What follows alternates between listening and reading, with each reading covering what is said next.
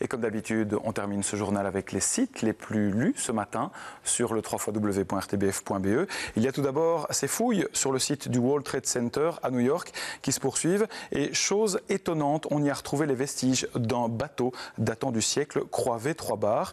L'information du jour nous vient aussi du zoo de Madrid.